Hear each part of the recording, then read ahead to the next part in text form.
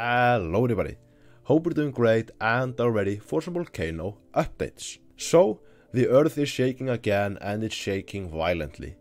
Just today, the Icelandic Civil Defense has raised the alert level on the peninsula and given some vital recommendations to people that live closest to the earthquake's origin. People should take valuable and heavy things off shelves, especially those who might hit someone's head. In this earthquake swarm, there have been 9 earthquakes over 3 in magnitude and 3 over 4 in magnitude. I haven't felt any, unfortunately, but in this video, I'll look into the situation, what's causing it, and what could happen in the near future. So let's jump right in.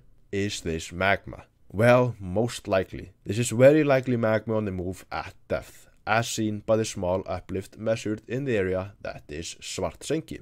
The uplift was only 15 millimeters at its peak during the latest measurements. The earthquake center is situated here, just northwest of the town of Grindavik. This makes the situation a little bit more serious due to the possible effects if an eruption occurs, but at the moment, the magma seems to be sat at 8 kilometers below the surface, at its shallowest, based on the earthquakes. If you look at the earthquake table, you see that most of them are from 6 to 2 kilometers deep, but that is due to the fault lines in the area that are triggered due to the uplift. Later this month, we are expecting data from the INSAR satellites that take two pictures over a week apart and measure uplift. They should shed some light on the situation if an eruption isn't already imminent. So at the moment we don't have much data as the earthquake swarm just began today. We don't even know for sure if it's caused by a new magma intrusion, but there's a lot pointing towards it. Just for some comparison, here are the last three weeks of earthquake activity on the peninsula.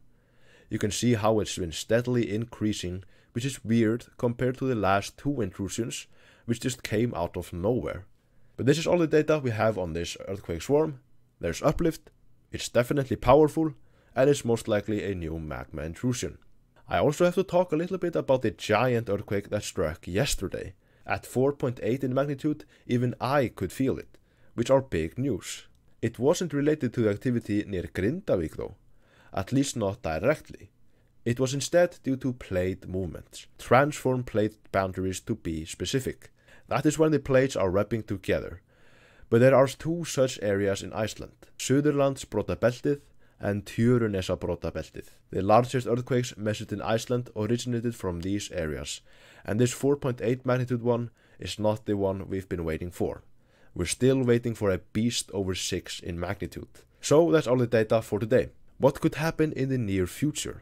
Well, I think this new earthquake swarm will continue like the ones back in March of 2021 and December that same year, which were both due to magma intrusions. Since this is the most likely a magma intrusion, it will probably behave the same. It's not starting off as powerful as the last two, but who knows, it might pick up tomorrow. It's just a waiting game with this limited data we have at the moment. So I'm just gonna have to end this on the classic, we'll just have to wait and see what happens. I just want to thank everyone who made it here.